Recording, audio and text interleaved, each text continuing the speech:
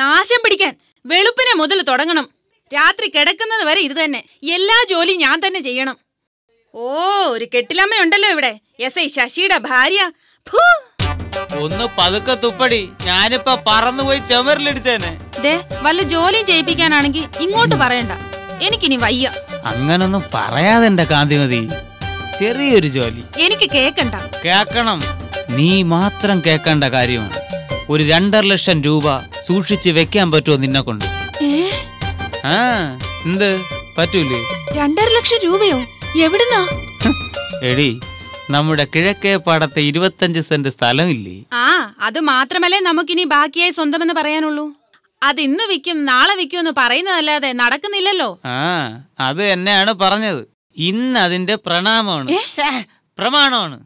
എന്റെ ഒരു ഒപ്പ് വീണാൽ ഇന്ന് എന്റെ കയ്യിൽ വരാൻ പോകുന്ന എത്രയാണെന്ന് അറിയാമോ? രണ്ടര ലക്ഷം. രണ്ടര ലക്ഷം രൂപ. മനുഷ്യൻ നിങ്ങൾ ഈ പറയുന്നത് ആ ബ്രോക്കർ വേലായുധം വഴി എല്ലാം ഞാൻ ഓക്കെ ആക്കിയിട്ടുണ്ട്. അപ്പോ രണ്ടര ലക്ഷം രൂപ നമുക്ക് ഇന്ന് കിട്ടുമോ എത്ര പ്രാവശ്യം പറയണോ? അതല്ലെന്നേ ആ രണ്ടര ലക്ഷത്തിൽ നിന്നും ഓരോ ലക്ഷം വീതം കനകത്തിനും കോമളത്തിനും കൊടുക്കണം. ബാക്കി അമ്പതിനായിരം രൂപ നമുക്ക് എടുത്താ പോരെ. വേണ്ട പനകത്തിനും കോമളത്തിനും കൊടുത്തിട്ട് ബാക്കി അമ്പതിനായിരം രൂപ നിന്റെ ചത്തുപോയ എഴുപുള്ളി ഗോപാലന്റെ കുഴിയെ കൊണ്ടിട്ടൊറി അടിച്ച് കവാലം പൊളന്നളെ കേട്ടെ പിന്നെ എന്തോന്നാ മനുഷ്യൻ നിങ്ങളുടെ പ്ലാൻ പറയാം.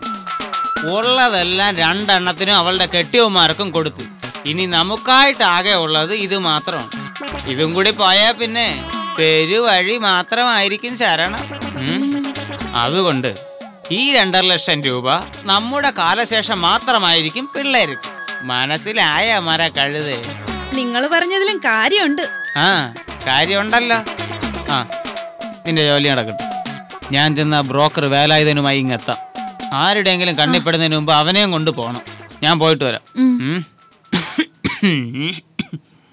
അച്ഛൻ എവിടെ പോകുന്ന കാര്യമാ പറയുന്നത് അത് പിന്നെ രമണ വൈദ്യന്റെ അടുത്ത്? അല്ല വേലായുധന്റെ അടുത്ത്. ഓ ബ്രോക്കർ വേലായുധനോ? ഞാൻ എന്തിനാ അവന്റെ അടുത്ത് പോണം? അല്ല പിന്നെ.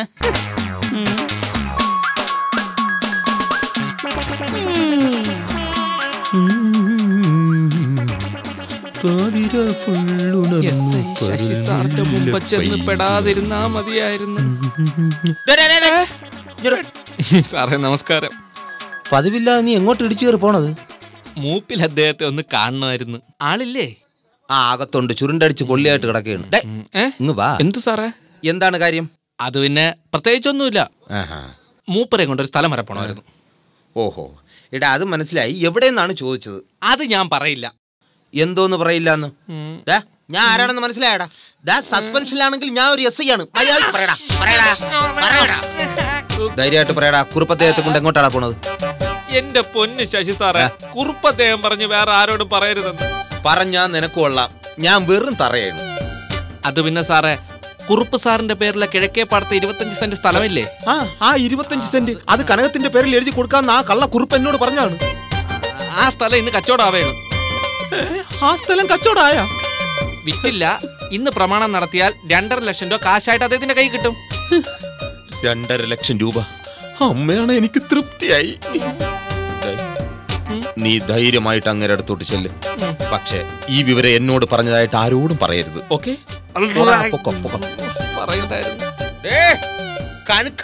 എന്തോ? നിന്നെ അല്ല വിളിച്ചത്? എന്റെ വൈഫിനെയാണ് വിളിച്ചത്. പോടാ തെണ്ടി. കനകം ഞാൻ രക്ഷപ്പെട്ട് തള്ളേ. ഇനി ഒരു കലക്ക് കലക്കും. എന്നാലും ഈ അച്ഛനും അമ്മയും സ്വന്തം മക്കളായ ഞങ്ങളോട് പോലും ഒരു വാക്ക് മിണ്ടിയില്ലല്ലോ. ഇതിനകത്ത് അതിശയിക്കാനൊന്നുമില്ല. കലികാലത്തിന് കോണകവും പാമ്പാവെന്ന് മനുസ്മൃതിയിൽ എഴുതി വെച്ചിട്ടുണ്ട്. ആ. കള്ളക്കളമായി ആധാരം നടത്തി കാശുമായിട്ട് വരുമ്പോ പൈലയിലെടുത്ത് കൊട്ടേഷൻ കൊടുത്താലോ? ഏയ് ആന്നും വേണ്ട. എടി രണ്ടര ലക്ഷം രൂപ പിടിച്ചു വാങ്ങിയിട്ട് ഏതെങ്കിലും തോട്ട് വരമ്പിൽ ചവിട്ടി താക്കാം. പറ ഒരു വാക്ക് പറഞ്ഞ പൈലുകൾ അപ്പക്കറി ചെയ്തിട്ട് പോകും. അതൊന്നും വേണ്ട. അങ്ങനെ വയലി ചവിട്ടി താക്കണ്ടെന്ന്. പിന്നെ? ആ വയലി പിന്നെ ഒരു നെന്മണി പോലും കിളിക്കത്തില്ല. അത്രയ്ക്ക് വിഷമാണ്. ഒരു കാര്യം ചെയ്യാം. നമുക്ക് തല്ലിക്കൊന്നും വല്ല പാലത്തിനടിയിലും ചവിട്ടി കയറ്റിയാലോ? ചെയ്യല്ലേ? ഒന്ന് വിട്ടാ മതി. പെങ്ങളൊന്നും പറയണ്ട. അതൊക്കെ ഞങ്ങൾ നോക്കിക്കോളാം. അതെ എടുത്ത് ചാടി ഒന്നും ചെയ്യണ്ട. അബദ്ധമാവും. കാരണം ഇന്ന് ആരാധമാണ് മറ്റേ ഈ ആരാധം. രണ്ടു ലക്ഷം രൂപ ആ വാളിക്കളവന്റെ കൈ കിട്ടുമെന്ന് എല്ലാവർക്കും അറിയാം. അപ്പൊ ഡയറക്റ്റ് ഒരു അറ്റാക്കിലൂടെ പണം പിടിച്ചു വാങ്ങിയാൽ നമ്മൾ കൊടുങ്ങും. ആ. അറിയോ? പിന്നെ ഇപ്പൊ എന്തിനു ചെയ്യണമെന്നാണ് അണ്ണൻ പറയണത്? നമുക്കൊരു കാര്യം ചെയ്യാം. ആഹാരത്തിൽ മൈക്ക് പിടിയിട്ടിട്ട് അങ്ങനെ കൊന്നാലോ? ആഹാരത്തിൽ മൈക്ക് പിടിയിട്ട് അയാൾ അങ്ങനെ ചാവും. അതല്ല ഈ ആഹാരത്തിൽ ഇങ്ങനെ മൈക്ക് പിടി ഇങ്ങനെ തട്ടി. അതെ ഇത് രണ്ട് കൊട്ടേഷന്റെ സെയിം എഫക്റ്റാ അത് വേണ്ട. അതെ നിങ്ങൾ ഇങ്ങനെ ഓരോന്നും വേണ്ട വേണ്ട എന്ന് പറഞ്ഞുകൊണ്ടിരുന്ന സമയം പോവും. എന്തെങ്കിലും ഒരു വഴി കണ്ടുപിടിക്കും. എന്നാ പിന്നെ നീ ഒരു വഴി പറ. അതായത് കരണേണ്ണ. കിളവൻ സ്വമനസാലെ കായികൾ എണ്ണി എണ്ണി തരും. അതെങ്ങനെ? എടി നീ വശീകരണ യന്ത്രം വശീകരണ യന്ത്രം എന്ന് കേട്ടിട്ടുണ്ടോ? ആ, പക്ഷെ ഞാൻ കേട്ടിട്ടുണ്ട്.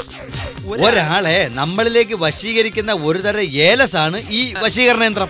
കറക്റ്റ് ആ യന്ത്രം നമ്മളെ കിളവന്റെ ഇത്തിരി പൂലുള്ള ബോഡിയിൽ കെട്ടുന്നു. നമുക്ക് അയാൾ സ്വമനസാലെ കാശ് തരും. അത് കൊള്ളാം. പക്ഷേ ഈ വശീകരണ യന്ത്രം നമ്മൾ എവിടുന്ന് മേടിക്കും? നിന്റെ കുഞ്ഞമ്മേരെ മാപ്പിളേരെ കടയെന്ന്. എടി കടയെന്ന് ഇങ്ങനെ മല്ലിയ മായ്ക്കുന്ന പോലെ അല്ലടി.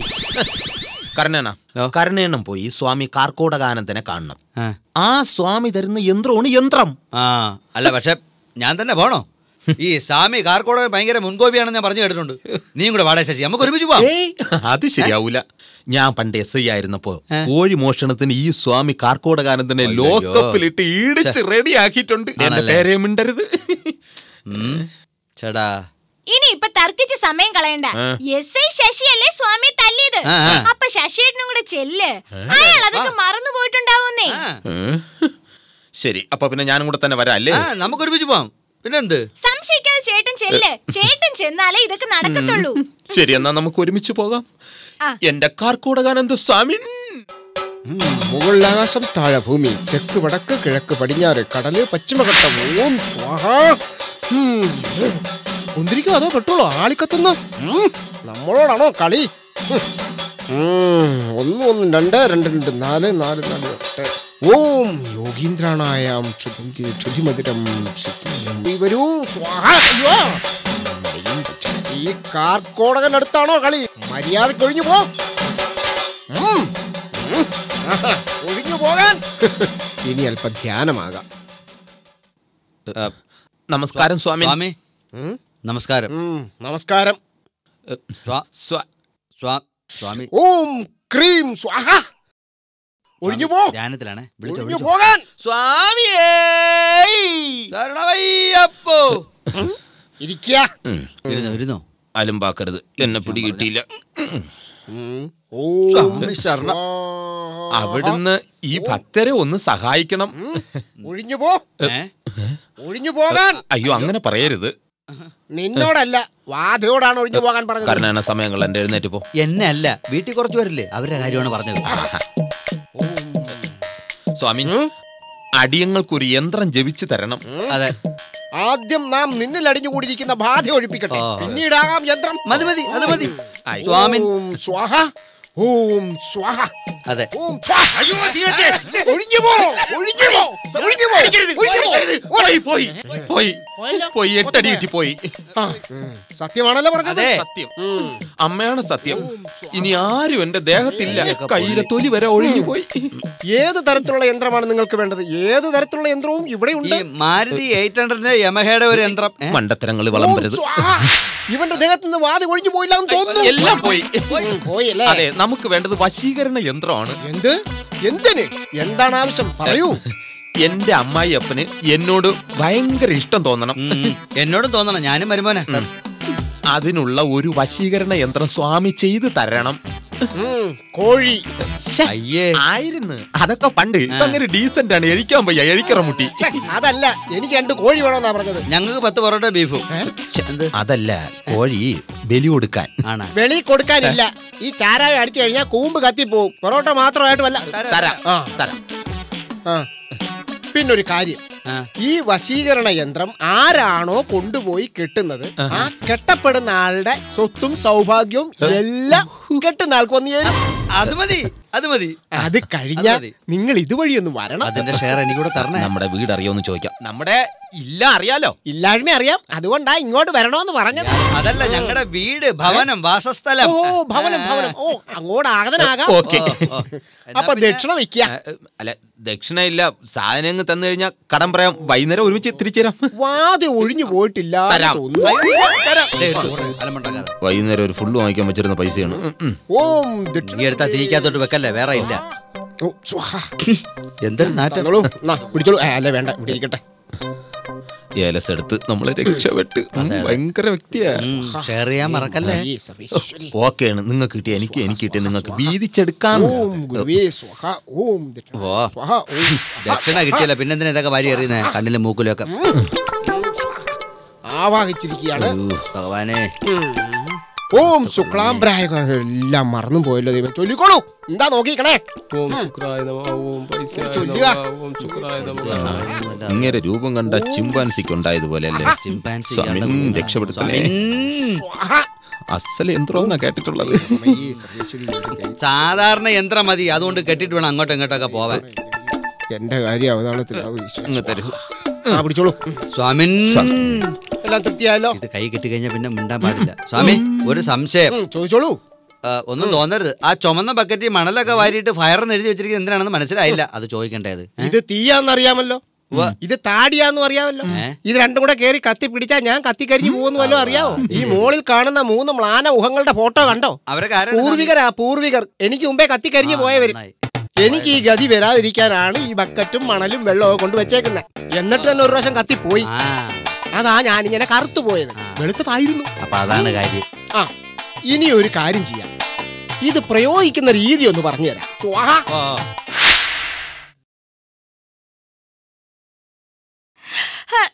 അയ്യോ ഇതാണല്ലേ വശീകരണ യന്ത്രം?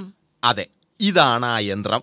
ഇത് നിന്റെ മൂപ്പിലാന്റെ ഇടുപ്പിലോ കയ്യിലോ കെട്ടിക്കഴിഞ്ഞാൽ ഒരു നൂറ് വരെ എണ്ണുന്ന സമയം. സംഗതി സക്സസ് ആവും. എന്നാലും ശശിയേട്ടനെ ഞാൻ സമ്മതിച്ചിരിക്കുന്നു. സ്വാമി കാർക്കോടകന്റെ കയ്യിൽ നിന്ന് ഇത്ര പെട്ടെന്ന് യന്ത്രം സംഘടിപ്പിച്ചില്ലേ? ആ പറട്ട സ്വാമി എന്റെ മുതു മുഴുവൻ അടിച്ചില്ലാതാക്കി കളഞ്ഞു. തുടരുത് സാരല്ല യന്ത്രം കിട്ടിയില്ലേ? അപ്പൊ എങ്ങനെ? യന്ത്രം ഞാൻ പോയി അച്ഛന്റെ അര കെട്ടിട്ട് വരാം. എന്ത് ഈസി ആയിട്ട് പറയണു.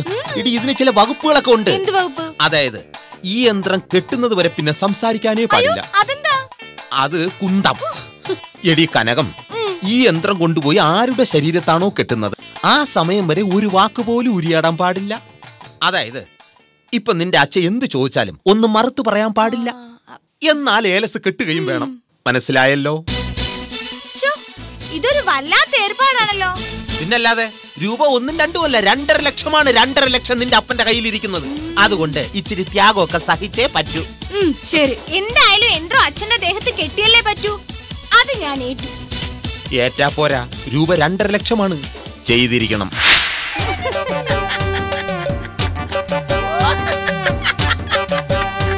ഈ ബോബന്റെ ഒരു കാര്യം മോളി ഉണ്ടായിരിക്കണം അവിടെ.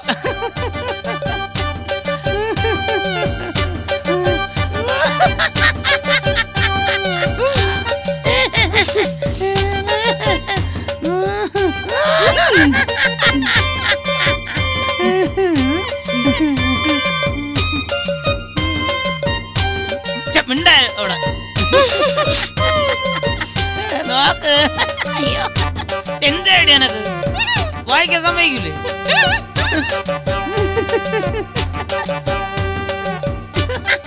മിണ്ടായിരിക്കാൻ പറഞ്ഞേ. ഈ എന്തെങ്കിലും ഒന്ന് വാറൊന്ന് പറ.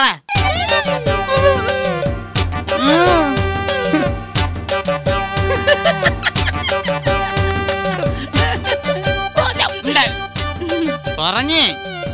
നിനക്ക് എന്നെ കൊണ്ട് എന്തോ കാര്യം സാധിക്കാനുണ്ടല്ലോ. എന്താണെന്ന് വെച്ചാ വാർന്നൊന്ന് പറ.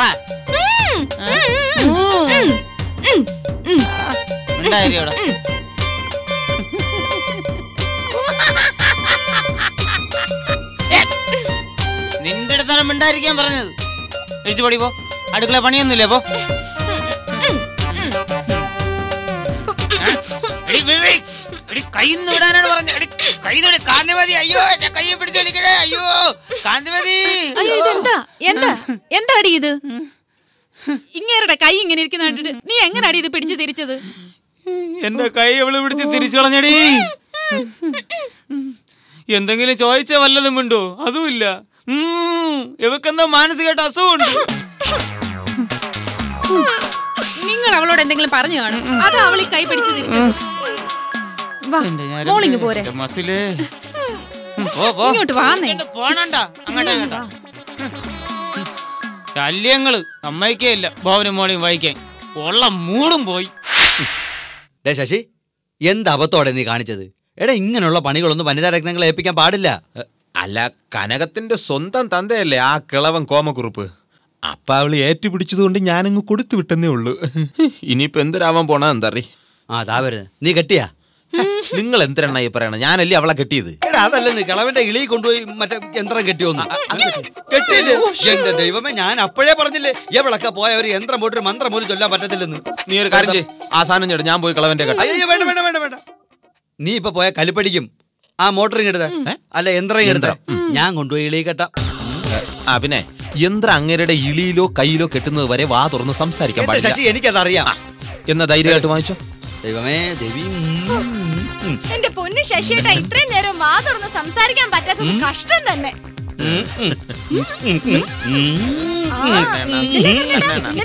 സമയം കളയണ്ട. സംസാരിക്കാൻ പാടില്ല. ആ എനിക്കട്ടെ. ഇളിയെ. കർണേണ്ണ ഇവളെ ഇളി കെട്ടിക്കഴിഞ്ഞാൽ നിങ്ങൾ വെള്ളം ഇറങ്ങാതെ ചാകും. കേട്ടല്ലോ? മര്യാദയ്ക്ക് പോയി ആ കിളവന്റെ ഇളിയെ കെട്ടുവാ. പോവാ. പോകാൻ. ശശിയേട്ടാ. അയ്യോ ഈശ്വര ഇതുപോലത്തെ ഒരു മൂന്നാൽ യന്ത്രം നിന്റെ കയ്യിൽ എന്നും ഉണ്ടായിരുന്നു. ഞാൻ എന്നേ രക്ഷപ്പെട്ടു അതെന്താ? നിന്റെ ഈ ശബ്ദ മലിനീകരണത്തിൽ നിന്ന് എനിക്ക് മാന്യമായിട്ട് ജീവിക്കായിരുന്നു. രണ്ടര ലക്ഷം രൂപ. കാർ എടുത്ത് ഇടാന്ന് വെച്ചാ ആ ശശിയും കരണനും എടുത്തോണ്ട് പോകും ഐഡിയ. കുതിരയെ വാങ്ങിച്ചിടാം. കുതിരയെ വാങ്ങിച്ച എനിക്കും കാന്തിമതിക്കും കൂടെ ഇരുന്ന് പോകാം. കുതിരയെ വാങ്ങിച്ച് കെട്ടാന്ന് വെച്ചാ ചത്തെങ്ങാനും പോയി കഴിഞ്ഞാ ഉള്ള പൈസ വെറുതെ വെള്ളത്തിലാവും. അതിനേക്കാളും നല്ലത് കാറ് തന്നെ ആക്കിയാലോ? എന്തായാലും കനകത്തിന്റെ അടുത്തൊരു തീരുമാനം ചോദിച്ചിട്ടെടുക്കാം. പക്ഷേ കാരണം കുഴപ്പമില്ല. ശശിയാണ് കുഴപ്പം. അവനടുത്ത് വിറ്റെങ്ങാനും കളഞ്ഞ പൈസ വെറുതെ വെള്ളത്തിലാവും. മൂന്നാലെണ്ണം ഉണ്ട് ഇവിടെ തിന്ന് മുടിപ്പിക്കാനായിട്ട്. എല്ലായിടത്തും ഞാൻ തന്നെ വേണം.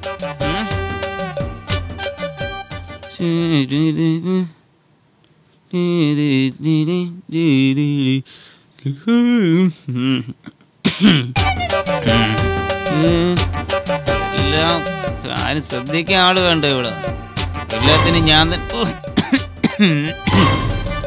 ഇവിടെ രണ്ടെണ്ണം ഉണ്ട് ശശി കരുണ എന്നൊക്കെ തിന്നാൻ മാത്രം കൊള്ളാം തിന്നാൻ ഇതൊക്കെ നമ്മളെ കൈ വരണം.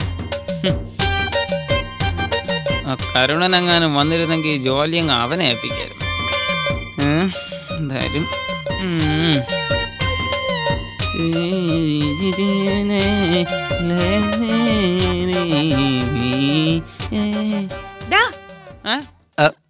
എന്താടാ അവിടെ? നീ എന്തിന്റെ കാരണം എന്റെ അടുത്ത് കിടന്ന് കറങ്ങണത്? നിനക്ക് വേറെ പണിയൊന്നുമില്ലേ. എടി നിനക്ക് ഇവിടത്തെ പുല്ലെന്ന് പറിച്ച് കളഞ്ഞൂടെടി. നിങ്ങൾക്ക് വേറെ പണിയൊന്നുമില്ലല്ലോ. അങ്ങോട്ട് വേണമെങ്കിൽ പറിച്ചു കളാ. നീ എന്തിനാ കാരണം അവിടെ. എന്റെ ബാക്കിൽ വന്നിരിക്കണതിന്. പുല്ല് പറയടാ. വേറെ പണിയൊന്നും ഇല്ലല്ലോ. പുല്ല് പറയും. പുല്ല് പറയടാ.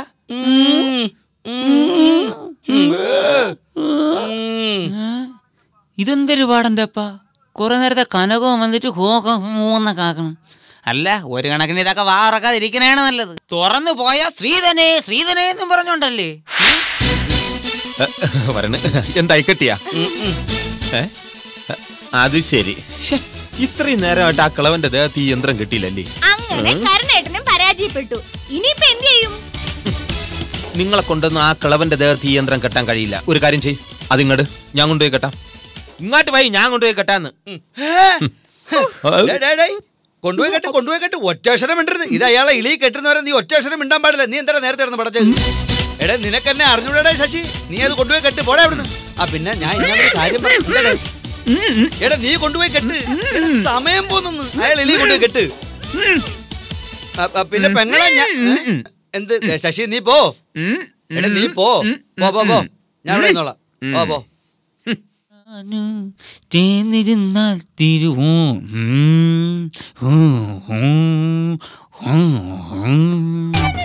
സുന്ദരി എന്ത്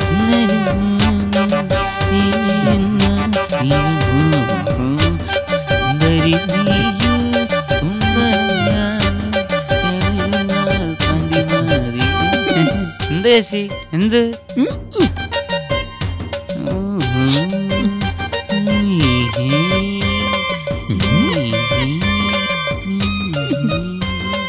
എന്താടാ ശശി? എന്ത് എനക്ക് തലവേദനയൊന്നുമില്ല.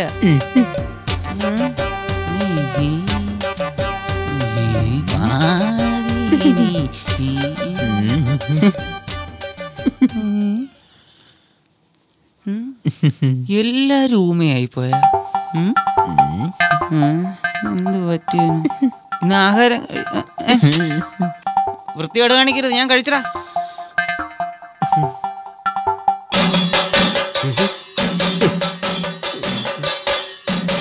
അയ്യോ ഇമ്മക്കരടി അല്ല സ്വാമി. എന്ത്? ശശിയാ.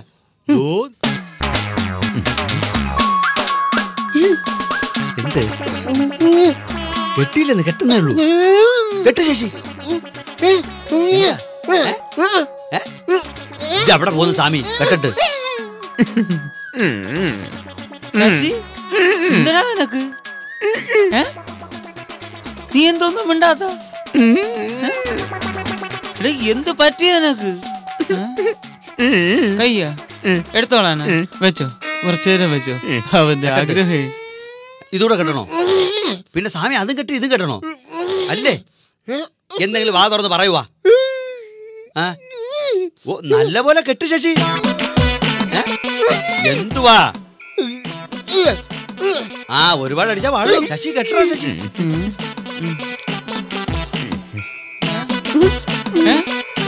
എന്തോന്ന്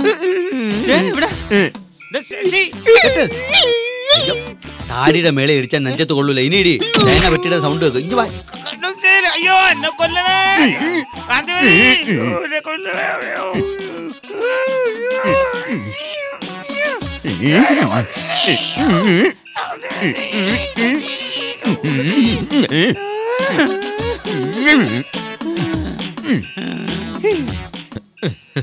രക്ഷപ്പെട്ട്. അമ്മാവാ അമ്മാവാ. ഉറങ്ങി. ഉറങ്ങി എഴിക്കുമ്പോ രണ്ടര ലക്ഷം എനിക്ക്. നല്ലൊരു കാര്യത്തിന് വേണ്ടിയാണ് അമ്മാവ സോറി സക്സസ് അമ്മാവിരെ തോർത്ത് മണപ്പിച്ചപ്പോഴേ മാവൻ ബോധം കെട്ട്. ഈ ഐഡിയ എന്താ എനിക്ക് നേരത്തെ തോന്നാത്തത്? സക്സസ് അയ്യോ സ്വാമി എത്ര നേരം കൊണ്ട് പറഞ്ഞു തിരിച്ചിട്ട് കേട്ട് മലത്തിട്ട് കെട്ടുന്നൊക്കെ. കെട്ടി. സ്വാമിയുടെ പാദരത്തി ഞാൻ എത്ര നേരം കൊണ്ട് പറയുന്നത് കെട്ടരുത് കെട്ടരുത്. അയ്യോ കെട്ടാനല്ലേ സ്വാമി കൊടുത്തത്? എടേ അത് കെട്ടരുത് പറഞ്ഞൊരു കാരണമുണ്ട്. എടേ ഞാൻ അന്നേരം ചാരായം അടിച്ചോണ്ടിരുന്നോണ്ട് തന്ന യന്ത്രം മാറിപ്പോയി. മാറിഞ്ഞു പോയി എന്ന് വെച്ചാ? എന്ന് വെച്ചാ ഇതാ വശീകരണ യന്ത്രം. അപ്പൊ അത്? അത് നശീകരണ യന്ത്രം. എനിക്ക് മനസ്സിലായില്ല. എടേ നീ എന്തിനു വേണ്ടി അത് കെട്ടിയത്? അങ്ങേരുടെ സ്വത്തത്ര എനിക്ക് കിട്ടായി. തന്നല്ലോ. ഇപ്പൊ നിന്റെ സ്വത്തല്ല അങ്ങോട്ട് പോകും അയ്യോ. അപ്പൊ യവനൊന്നും യവനൊന്നും കിട്ടൂലേ? അവനൊന്നും കിട്ടത്തില്ല? അല്ല കലിപ്പ്